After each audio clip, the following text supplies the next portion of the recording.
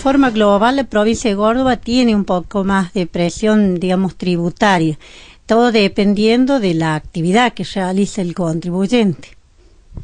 Por ejemplo, que hay comercios que, o rubros o actividades que tienen menos gravamen que otros.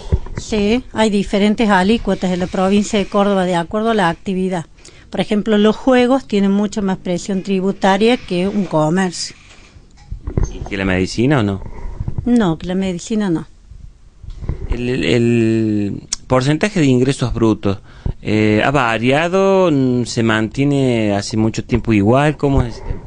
La alícuota general ha variado un poco y el mínimo sí va aumentando año a año, más o menos un promedio en 30%.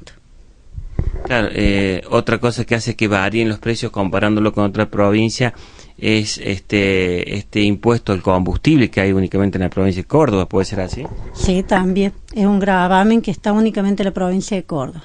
¿Y eso se varía los precios? Sí, eso hace variar los precios de los combustibles. Eh, y comparándolo, por ejemplo, hace 10 años atrás, eh, hay el contador o el estudio contable tiene más trabajo que ahora o no? Sí, ahora actualmente hay más trabajo debido a eso que hay mayor control se pide, por ejemplo, lo que no se existía antes para la municipalidad era el reempadronamiento.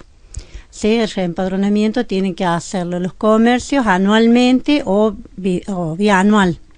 Sí, también existe, como mencionábamos, el CIFCO, sí, que antes no existía, actualmente sí es una exigencia que tiene la provincia. ¿Y qué función cumple? El brindarle un servicio al comerciante en cuanto ofrecen aquellos que cumplan tienen, pueden hacer capacitaciones. O sea, al estar inscripto en comercio, le permite hacer, acceder a algunas capacitaciones.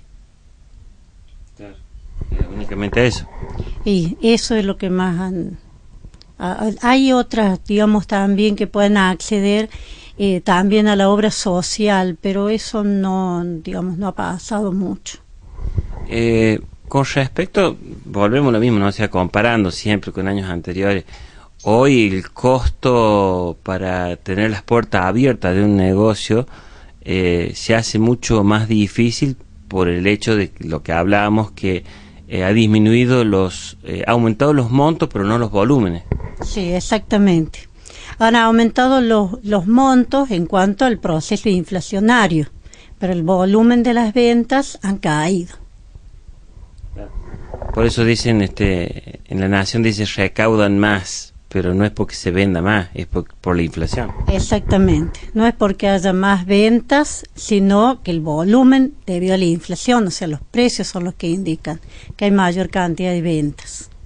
La inflación indudablemente que es algo que nos afecta a todos y eso le quita el poder adquisitivo al, asalariado, ¿no? Exactamente, sí. Le quita poder adquisitivo, se nota bastante en todas las actividades en general.